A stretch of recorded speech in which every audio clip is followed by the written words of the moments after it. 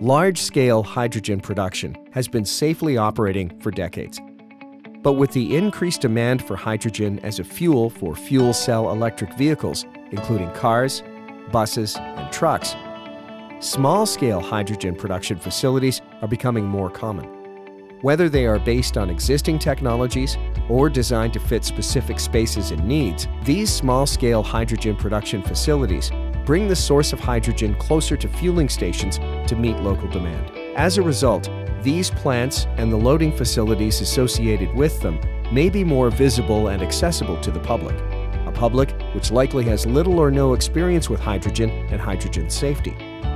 Additionally, small facilities are more likely to be partially manned or completely unmanned. Operating these small-scale facilities brings unique safety considerations, such as siting to meet separation distances, security needs, or to address unmanned operating requirements.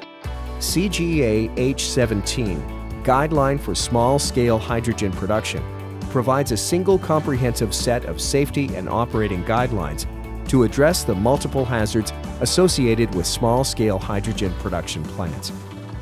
The Compressed Gas Association has been writing standards to guide the safe operation of hydrogen systems for 70 years. For more information and to see a full list of available standards and resources, please visit safehydrogenproject.org.